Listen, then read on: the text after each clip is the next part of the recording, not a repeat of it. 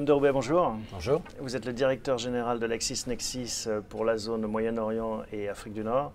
C'est vous qui avez eu l'idée et organisé ce séjour, cette délégation française avec des représentants de quatre métiers du droit, les professeurs, les avocats, les huissiers, les notaires, pour les amener ici dans les Émirats.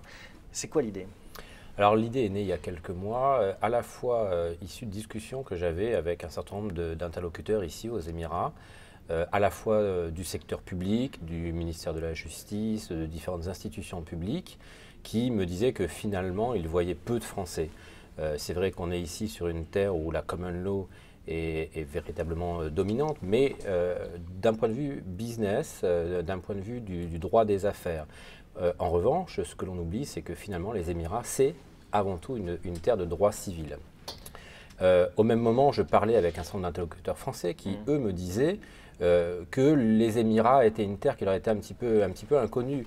Euh, c'est vrai que les Français ont, une tendance naturelle à aller exporter leur modèle, à aller rencontrer leurs, leurs collègues et confrères dans certains pays d'Europe, en, en, Afrique du Nord, en Afrique plus généralement, mais finalement peu ici au Moyen-Orient et encore peut-être moins aux Émirats.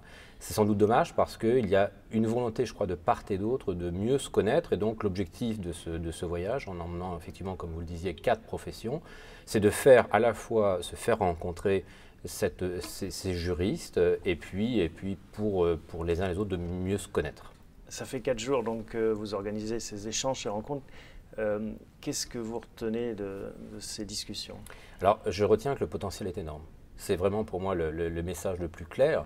C'est-à-dire que, alors même que les, échanges sont, disons-le, quasi nuls aujourd'hui, il y a véritablement une volonté, et puis je dirais une volonté qui est une volonté réelle. On n'est pas simplement, vous savez, dans le message un peu diplomatique, un peu poli, de dire on veut travailler ensemble. On sent bien qu'il y a des intérêts communs. Je, le redis, les, Émirats, c'est un pays, c'est une fédération d'États de droit civil. Ils souhaitent travailler euh, avec les juristes du monde entier pour euh, faire pour moderniser leur, leur, modèle, pour moderniser leurs droits, comme on peut le faire dans tous les pays du monde.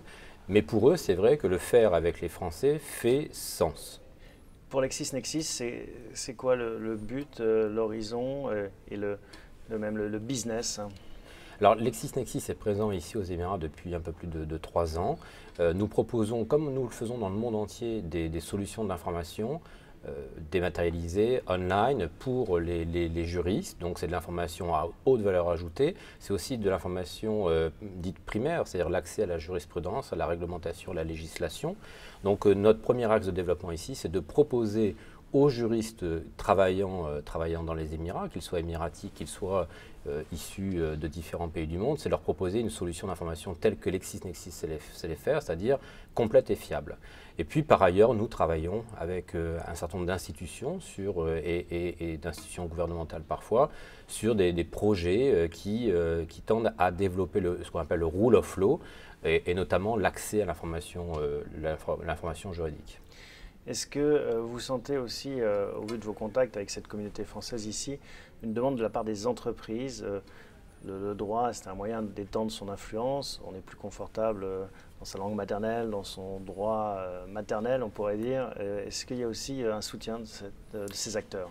Oui, il y a un soutien, mais ensuite, il ne faut pas exagérer la place que peut avoir ici le, droit français. Je pense qu'on est vraiment aux, aux, premières, premières, étapes. La réalité, c'est que c'est un marché qui est un marché sur lequel le droit doit être diffusé en langue arabe et en langue anglaise, que le cœur de, de l'appareil juridique est vraiment d'inspiration euh, anglo-saxonne, en tout cas en ce qui concerne le, droit des affaires. Euh, ce qui est attendu par le marché, c'est de la common law, euh, c'est de la régulation issue des free zones, c'est le droit civil issu des, Émirats. Ensuite, qu'effectivement, on, puisse commencer avec, avec un certain nombre de juristes de la communauté française à mieux diffuser le droit français et une vision française du droit, c'est ce que nous sommes en train de faire. Mais je dirais, la marche est encore un petit peu haute. Une dernière question concernant finalement ce, voyage de découverte hein, pour beaucoup euh, des juristes qui, vous accompagnent. Euh, on a l'impression d'une vraie, euh, une vraie découverte, c'est le terme, une vraie surprise en fait, loin peut-être des clichés qu'on peut développer quand on est Oui, absolument. Les Émirats, c'est un pays qui, effectivement, qui est moderne, chacun est en train de, le découvrir lors de ce, voyage, sur lequel le potentiel est absolument extraordinaire. Il y a une vraie appétence pour, pour le droit français, pour l'expertise des juristes français. Je crois que la surprise de la délégation française, c'est de voir combien ils sont bien accueillis et pas simplement accueillis pour pour des, par, politesse, mais parce qu'on attend des suites. On attend des suites très concrètes, on attend des projets pour que les Français viennent investir le, terrain local, viennent échanger avec euh, leurs collègues euh, émiriens. Et, je dirais que euh, la surprise, c'est peut-être cela. Ça veut dire finalement un terrain qu'on connaît mal et sur lequel il, y a, il y a de toute évidence une possibilité immédiate et importante de venir travailler. Puis encore une petite question, euh, vous avez organisé le premier euh, forum euh, du Code civil arabe, enfin le premier forum arabe du Code civil. quelle est l'idée et est-ce que ça a vocation justement est-ce qu'il y a vocation à avoir un deuxième puis un troisième Alors je l'espère parce que le, premier a été effectivement un, très beau succès. Nous avons organisé ça en partenariat avec l'Université de la Sorbonne à Abu Dhabi, qui s'est installée déjà il y a plusieurs années ici, notamment le département droit juridique de la Sorbonne Abu Dhabi, euh, en partenariat, en tout cas sous le haut patronage du ministère de la, de la Justice. Le, secrétaire d'État à la Justice était présent à l'ouverture de ce colloque, l'ambassadeur de France euh, également. Et effectivement, c'était pour moi une manière de marquer une forme de commencement de l'histoire. Euh, comme je le disais, il y a une vraie volonté aujourd'hui de développer le droit civil, de moderniser le droit civil aux Émirats. À partir de, là, on a souhaité, avec ce, colloque, réunir tous les acteurs du droit civil de la région. Donc nous avions euh, des participants qui venaient euh, des Émirats, mais pas seulement, de tout le GCC.